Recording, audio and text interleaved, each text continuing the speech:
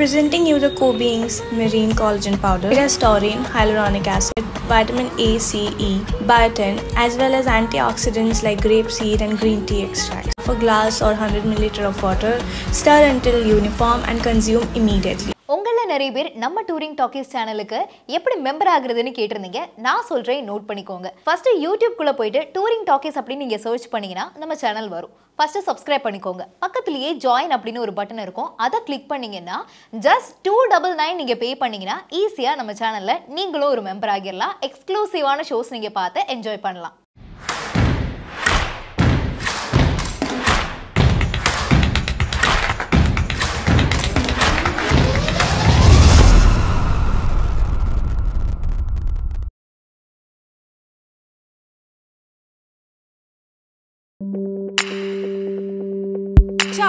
Chai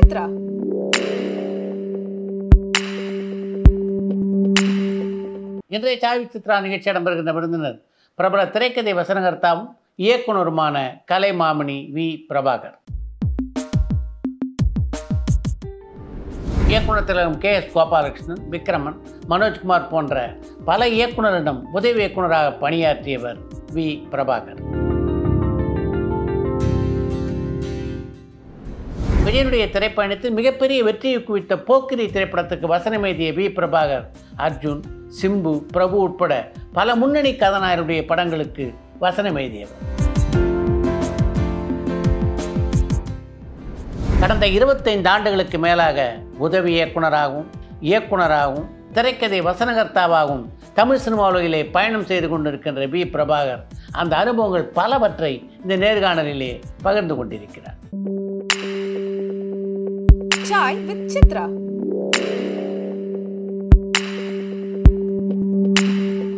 வணக்கம். வணக்கம் sir D K Prasad கிட்ட தான் முதல் முதலாக உதவி இயக்குனராக சேர்ந்தீங்களா டி கே பிரசாத்னு ஆராதனை ராமன் ஸ்ரீராமன் படம்லாம் பண்ணார். கோல்டு மெடலிஸ்ட் அவர்.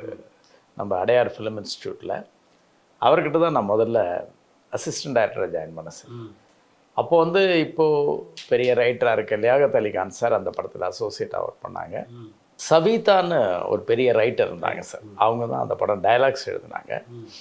நான் வந்து ரொம்ப லக்கின்னு சொல்லணும் சார் சென்னைக்கு வந்த மூணாவது நாளே அசிஸ்டன்ட் டைரக்டர் சார் ஏன்னா கையில் வந்து எப்பவுமே ஒரு நாலஞ்சு ட்ராமா ஸ்கிரிப்ட் வச்சுருப்பேன்.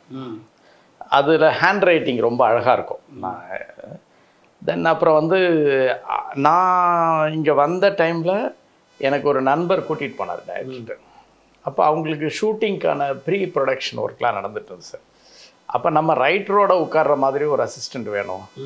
கொஞ்சம் ஸ்கிரிப்ட் நாலேஜும் ஹேண்ட் ரைட்டிங்கும் நல்லா இருக்க ஆள் வேணும்னு. ஸோ இம்மிடியட்டாக என்னை வந்து டி கே பிரசாத் வந்து அவருடைய அசிஸ்டண்ட்டாக சேர்த்துட்டார் சார் தென் அப்புறம் ரைட்டர் சவிதா சாரோட உட்காந்து அவங்க எழுதுறதெல்லாம் காப்பி எடுக்கிறதுக்கு தான் முதல்ல போனேன். ம். அப்புறம் வந்து அவர் தம்பி நீங்களும் ஒரு நாலஞ்சு சீன் எழுதுங்களேன் அப்படின்னு சொன்னார்.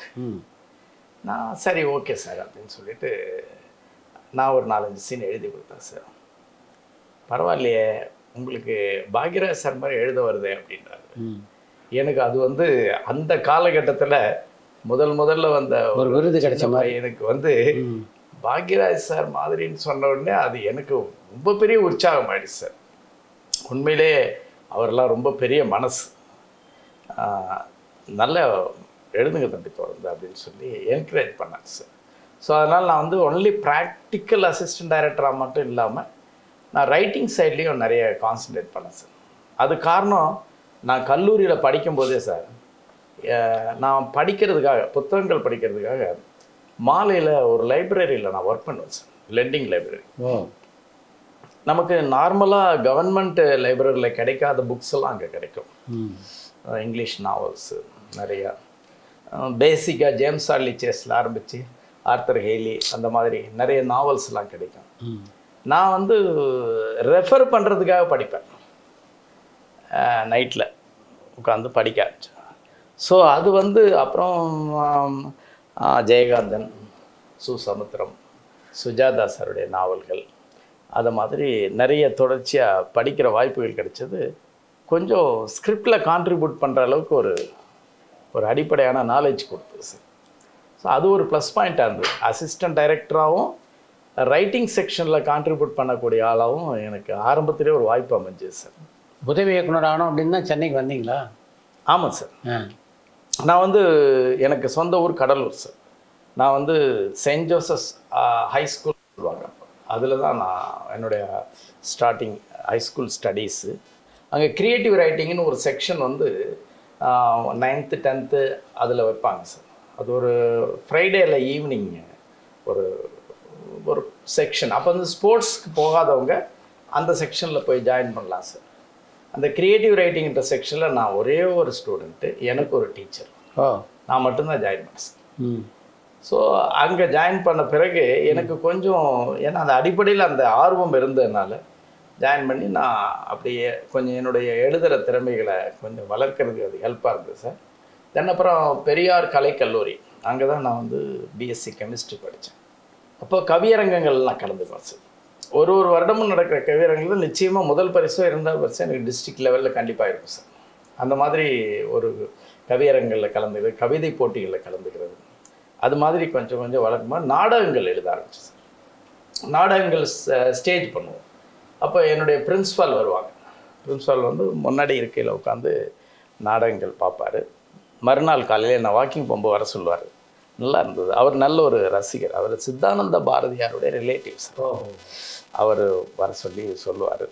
அப்போ அவர் தான் சொன்னார் நீ கலைத்துறைக்கு போகலாமே எதுக்கு நீ கெமிஸ்ட்ரி படித்து டைமை வேஸ்ட் பண்ணிகிட்டு இருக்க? அது வரைக்கும் உங்களுக்கு அந்த எண்ணம் இல்லையா? இருந்ததா? இருந்தது சார். ஆனால் அடிப்படையில் நம்ம குடும்ப சூழ்நிலைகளை அனுசரித்து ஒரு யோசனையோடு இருந்தது. அதை நான் கொஞ்சம் அவர்கிட்ட ஷேர் பண்ணேன். தைரியமாக போ தம்பி உனக்கு நல்ல வாய்ப்புகள் கிடைக்கும் அப்படின்னு பிரின்ஸிபல் என்கரேஜ் பண்ணாங்க.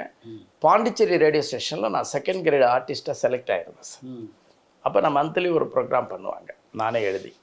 அதில் எனக்கு அடிப்படையாக ஒரு இன்கம் கிடைக்கும். வருமானம். அதை சோர்ஸாக வச்சுட்டு நான் வந்து சென்னைக்கு வந்துட்டேன் சார். சென்னைக்கு வந்து அதுக்கப்புறம் முதல் முயற்சியிலேயே டி கே பிரசாத் சார்கிட்ட உதவி இயக்குனர். அந்த படம் நடந்துட்டு அது ராமன் ஸ்ரீராமன் விஜயகாந்த் சார் ஹீரோவாக நடித்த படம் சார். டபுள் ஆக்ஷன் அந்த படத்தில் தான் நான் அசிஸ்டன்ட் டைரக்டர் ஒர்க் பண்ணேன். அந்த படம் ஆரம்பித்து ஒரு ஷெட்யூல் முடிஞ்சு நல்ல இடைவெளி ஏற்பட்டுச்சு சார். அந்த நேரத்தில் என்னுடைய நண்பர்கள் வந்து கே எஸ் கோபாலகிருஷ்ண சார்கிட்ட அசிஸ்டன்ட் டைரக்டர் வேணும்னு படிக்காத பண்ணையார்னு சொல்லி சிவாஜி சார் அந்த படம். அந்த படத்தில் அசிஸ்டன்ட் டைரக்டராக எனக்கு ஒரு வாய்ப்பு கிடைச்சிருச்சு சார். ஸோ இப்போ இன்னும் ரொம்ப சந்தோஷமாயிடுச்சு. அதாவது கே கேஎஸ்ஜியெல்லாம் வந்து நம்ம கனவுல கூட நினைக்க முடியாத மிகப்பெரிய இயக்குனர் அவருக்கு பின்னால் கற்பகம் ஸ்டுடியோஸில் நிற்கிற ஒரு வாய்ப்பு சிவாஜி சார். எனக்கு சவுண்டு கிளாப் அடிக்க தெரியாது சார் அப்போ. ஆனால் சிவாஜி சார் நான் தெரியுன்ட்டேன். சொல்லிட்டு நாளைக்கு ஷூட்டிங் இன்னைக்கு நைட்டு முழுக்க நான் அடிச்சு அடிச்சு அடிச்சு கிளாப் அடிச்சு ட்ரைனிங் பழக்கப்படுத்திட்டு மறுநாள் காலையில் early morning Sivaji sir shooting அதுலேயும் முதல் ஷாட்டு சிவாஜி சார் கிளாப் அடிக்கிறேன்ட்டாங்க சார். சரி நான் என்ன இது பண்ணிவிட்டு கரெக்டாக போய் சிவாஜி சாருக்கு நம்பர் அனௌன்ஸ் பண்ணி அடிச்சிட்டேன் சார். அடித்தா அப்பா சக்ஸஸ்ன்னு வந்தேன். ஷாட்டு முடிஞ்சோடனே சிவாஜி சார் கூப்பிட்டாரு. புதுசா? அப்படின்னு கேட்டார். ஆமாங்க தெரியுது அப்படின்னாரு எனக்கு ஒன்றும் புரியல. எனக்கு எப்படி கண்டுபிடிச்சாரு? நம்ம இவ்வளோ ப்ராக்டிஸ் பண்ணி வந்து கரெக்டாக பண்ணமே அப்படின்னு அந்த சாக் பீஸ் இருக்கு இல்லைங்களா? அதை எழுதிட்டு அந்த டஸ்ட்டை ஊதிடணும் சார். அது எனக்கு தெரியாது. மீதி எல்லாம் கற்றுக்கிட்டவன் அந்த ஊதுறது கற்றுக்கல ஸோ அது அந்த டஸ்ட்டு லைட்டாக பறந்து போய் ஆர்டிஸ்டுடைய ஃபேஸில் லைட்டாக படம் இல்லைங்களா? அதில் அவர் கரெக்டாக கண்டுபிடிச்சிட்டாரு. ஆனால் அது எனக்கு பெரிய ப்ளஸ்ஸாக இருந்தது சார். அடுத்து மண்ணுக்குள் உயரன்ற படம் சிவாஜி சார் நடிக்கிற படத்தில் நான் வந்து ஃபஸ்ட் அசிஸ்டன்ட் டைரக்டர் மாதிரி கொஞ்சம் மேலே. ப்ரொமோட் ஆயிட்டேன். நான் போன உடனே சிவாஜி சார் வந்திருக்காருன்னு சொன்னாங்க சார். சிவாஜி சார் வந்து அவர் கூட திரியோனா இருப்பார் அவங்கெல்லாம் ஒரு டீம் இருப்பாங்க. அதில் ஒருத்தர் என்னை கோபிச்செட்டிப்பாளையத்தில் வந்து இறங்கின உடனே பார்த்துட்டு அண்ணே நம்பால் ஒருத்தர் இந்த டீமில் இருக்காரு. ஏன்னா ஆல்ரெடி ஒரு படம் ஒர்க் பண்ணியிருந்ததுனால அதுல இருந்து எந்த விஷயம் டைரக்டர் கன்வே பண்ணுறதா இருந்தாலும் என் மூலமாக தான் கன்வே பண்ணுவாங்க சார். ஃபிக்ஸ் பண்ணிக்குவாங்க. நான் வந்து ஏதாவது ஷார்ட்ஸ் பேலன்ஸ் வந்து எழுதி எடுத்துகிட்டு போனாலும் மண்ணுக்குள்ள இடத்துல டைரக்டர் சார்கிட்ட போய் சொல்ல போகும்போது சிவாஜி சார் இங்கே வான்னு கூப்பிடுவார் நடிக்க போகிறது நான். எனக்கு சொல்லிட்டு போ. அப்படின்னு சொல்லுவார். அதெல்லாம் ஒரு உண்மையிலே என் வாழ்க்கையில் எனக்கு கிடைச்ச மிகப்பெரிய ஒரு பாக்கியம்னு சொல்கிறேன் சார். Opportunities sir. இந்த ரெண்டு படங்கள்லேயும் சிவாஜியோட பணியாற்றியதில் இன்னி வரைக்கும் உங்களால் மறக்க முடியாதுன்னா எதை சொல்லலாம்? சார் அது நிறைய சம்பவங்கள் இருக்குது படிக்காத பண்ணையார் படத்தில் ஒரு சீன் சார் அதில் வந்து எதிர் எதிர் வீடு. சிவாஜி சார் ஒரு வீட்டில் இருப்பாங்க.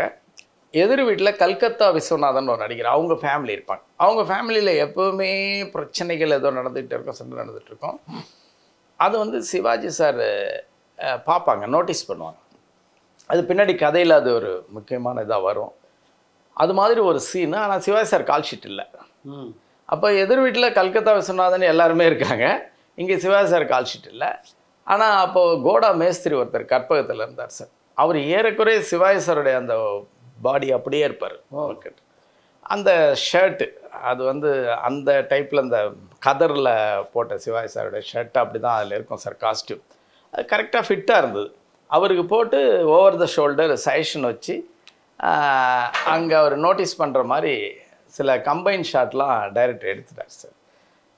நான் அப்போ தான் ஆரம்ப கட்டத்தில் இருக்கிற ஒரு அசிஸ்டன்ட் டைரக்டரு நம்ம வேலை பயங்கர ஒரு ஜோக்கர் மாதிரி இருப்பேன் சார். இங்கே ஒரு பேகு இங்கே ஒரு பேகு இங்கே ஒரு டேப் ரெக்கார்டரு இங்கே ஒரு இது அப்படின்னு சொல்லி ஏகப்பட்ட ஐட்டம்ஸை மாட்டிட்டு துரு துரு துருன்னு ஓடிட்டுருப்பேன் அப்போ வந்து சிவாஜி சார் வந்து அந்த நோட்டீஸ் பண்ணுறாருன்றதுக்கு ஒரு நாலஞ்சு க்ளோஸ்அப் ஷாட்ஸு கம்பைன் ஷாட்லாம் எடுத்து விட்டுருந்தாங்க சார். இது அண்ணன் வரும்போது எடுக்கணும்னு சொல்லி டைரக்டர் சார் சொல்லிட்டாரு. அசோசியேட் ராமநாதன் சார் நோட் பண்ணிட்டாரு. அதுக்கப்புறம் அப்படியே ஷூட்டிங் முடிஞ்சு அந்த எண்டு க கம்ப்ளீட் ஆகிற ஸ்டேஜ் வந்துடுச்சு சார். அடுத்து ஒரு பேட்ச் ஒர்க் ஏதோ இருக்குது ஆனால் சிவாஜி சாருக்கு அந்த டேட்ஸ் முடியுது. கடைசியில் ஒரு அரை நாளோ ஒரு நாளோ கொடுத்து வந்திருக்காரு. அப்போ எல்லாம் எடுக்கிறாங்க. இந்த க்ளோஸ்அப்ஸை அசோசியேட் டைரக்டர் நோட் பண்ணாமல் விட்டார் சார். ஸோ அவர் நோட் பண்ணி கொடுத்த ஒரு ஒரு விஷயத்தையும் என்- எனக்கு மேலே சீனியராக அந்த பாண்டியன் ஒருத்தர் வந்து நோட் பண்ணி டயட் சார்ட்டை கொடுத்துட்டாரு. ஒன்று ஒன்றா எடுத்துக்கிட்டு இருக்காங்க எடுத்துகிட்டு இருக்காங்க. இந்த க்ளோசஸ் மட்டும் எடுக்கல.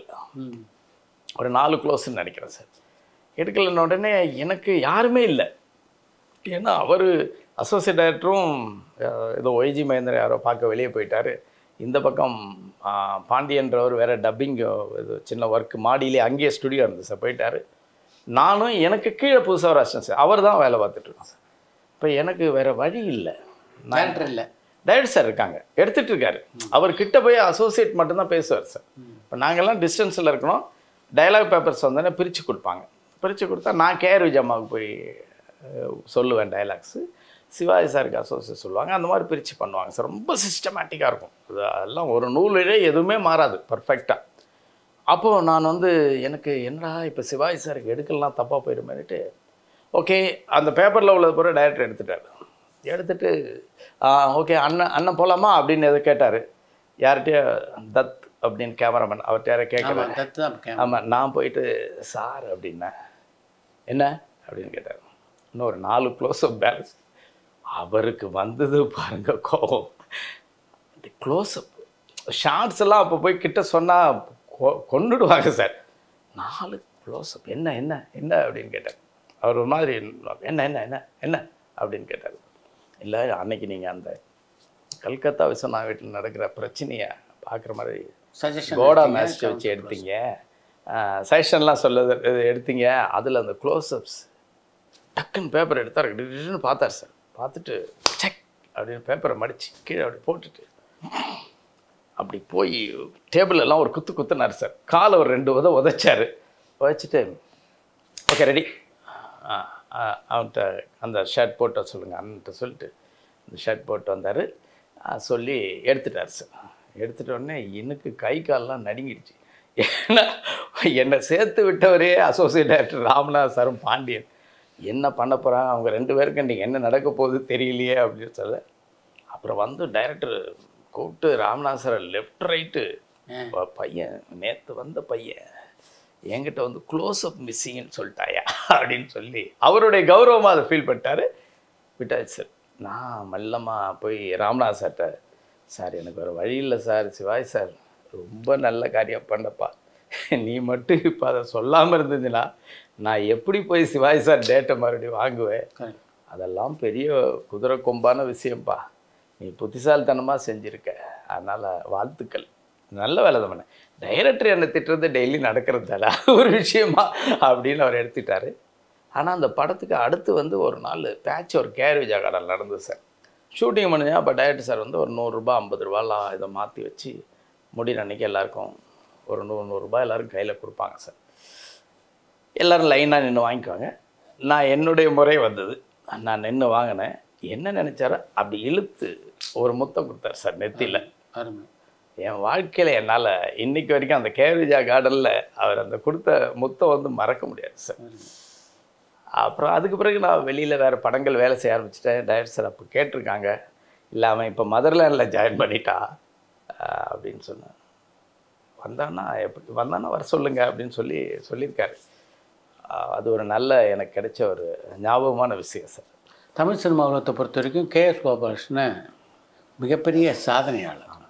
நீங்கள் பக்கத்தில் இருந்து பார்த்தபோது அவர்கிட்ட நீங்கள் பார்த்து வியந்த விஷயம் எதுன்னு சொல்லலாம். அவர்கிட்ட பார்த்து வியந்த விஷயம் சார் அதாவது வந்து அந்த ஒரு ஒரு சீக்வன்ஸியை எவ்வளோ பெரிய ஒரு விஷயத்த டயலாகில் எப்படி வந்து அதை வந்து அப்படியே மாற்ற முடியும்? அந்த உணர்வினுடைய இதை வந்து பிரதிபலிப்பு எப்படி டயலாக்ஸில் காமிக்க முடியும் அப்படின்றதுல அவர் மாதிரி நான் நெவர் இமேஜின் சார் அது வந்து அந்த படத்துலேயே ஒரு சீக்வன்சி வரும் சார் அதில் வந்து சிவாஜி சார் வந்து வீட்டில் இருப்பாங்க. அவர் பெரியவர் அண்ணன். அவருக்கு தம்பி தேங்காய் சீனிவாசன் இருப்பார். சிவாஜி சார் ஒரு மன பிரச்சனையில் ஒரு இதில் வந்து அங்கேருந்து பிரிஞ்சிடுவார் பிரிஞ்சு அவர் தனி இருப்பார். அந்த தேங்காய் சீனிவாசன் தனியாக இருப்பாங்க. அவங்க ஃபேமிலி திடீர்னு அவருக்கு உடல்நிலை சரியில்லை. அவர் வந்து ரொம்ப மோசமான நிலையில் இருக்கார் தேங்காய் சீனிவாசா அப்படின்னு ஒரு செய்தி வரும். வந்துட்டு அநேகமாக இறந்துருவாருங்க தம்பி அப்படின்ற மாதிரி வந்து கன்வே பண்ணுவாங்க அப்படியே சிவாஜி சார் யோசிச்சு யோசிப்பார். யோசிச்சுட்டு அவர் சொல்லுவார் அவன் எனக்கு பின்னால் ரொம்ப நாள் கழித்து பிறந்தவன். அவனுக்கு எது நடந்தாலும் எனக்கு பின்னால் தான் நடக்கும். அவனுக்கு ஒன்றும் ஆகாது ஒரு வசனத்தில் அந்த ஆளுக்கு அங்கே உயிர் வந்துடும் சார் அவன் எந்திரிச்சு சக்குன்னு நிற்பான் இப்படி முதல் மரியாதையில் அந்த ராதா வந்து கால் வச்ச உடனே சிவாசருடைய காலில் அந்த இதுதான் சார் ஒரு என்ன சொன்ன இந்த இந்த பூமியில் இருக்கக்கூடிய உறவுகளுக்கு மத்தியில் இருக்கக்கூடிய ஒரு அட்டாமிக் எனர்ஜி மாதிரி ஒரு ஃபீல் சொல்லுவாங்களே சார். அது மாதிரி அவர் நிறைய எத்தனையோ படங்களில் நிறைய பண்ணியிருக்காரு சார். நிழலில் நான் நின்னப்போ நான் கவனிச்சது இந்த மாதிரி விஷயங்கள் இதை பிற்காலத்தில் நான் இதெல்லாம் மனசில் ஏற்றிக்கிட்டு நான் ஒர்க் பண்ண படங்களில் இதெல்லாம் ரிஃப்ளெக்ட் பண்ணுறதுக்கு எனக்கு ஈஸியாக இருந்தது சார் கேஆர் விஜயம்மாவுக்கு நான் போய் டயலாக் சொல்லிக்கிட்டே இருப்பேன். படிப்பேன். அவங்க பெரிய ஆர்டிஸ்ட் நம்ம கடமை படிக்கிறது. அப்படி படிச்சுட்டு இருக்கும்போது டைரக்டர் சார் அங்கே உட்காந்து கேஜி சார் வந்து ஊஞ்சல் அப்படி ஆடிக்கிட்டே இருப்பார் சார் ஆடிட்டு எல்லா கதாபாத்திரங்கள் மாதிரியும் அவர் பேசி பார்த்துட்டே இருப்பார். ம் அவர் உட்காந்துட்டு திடீர்னு ஒரு சீனை மைண்டில் வச்சுட்டு அந்த காமெடியன் மாதிரி அவர் சிரிப்பார். அப்படி பாரு ஏதோ ரியாக்ஷன்லாம் போயிட்டுருக்கோங்க.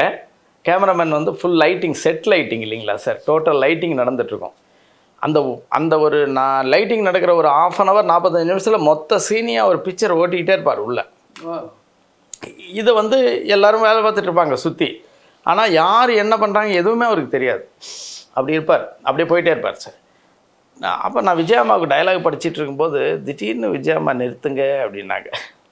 ஏன் என்ன மேடம் அப்படின்னேன் டயலாக் மாறிடுச்சு அப்படின்னாங்க என்னன்னு கேட்டால் இவங்களுடைய ரோல் பேச வேண்டியதை சார் பேசும்போது இவங்க கவனிச்சிக்கிட்டே இருக்காங்க.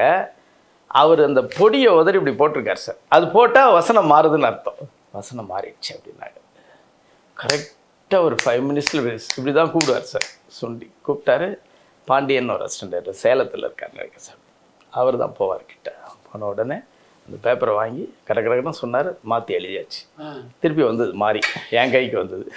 எனக்கு ஆச்சரியம் என்னன்னா அவங்க ஒரு பெரிய ஆர்டிஸ்ட்டு அவர் ஒரு பெரிய கிரியேட்டரு எந்த அளவுக்கு ஒரு டைரக்டரோட ஒரு இணக்கமான சூழ்நிலை இருந்தால் இப்படி உதறி போட்டோடனே வசனம் மாறிடுச்சுன்னாங்க பாருங்க. ஏன்னா அவங்க வாழ்க்கையே மாறினது அவரால் தான். இது வந்து முன்னாள் ஹிஸ்ட்ரி அதெல்லாம் நான் படித்து தான் அஹ் உங்கள் ஃபிலிமாலயா பேசும் படம்.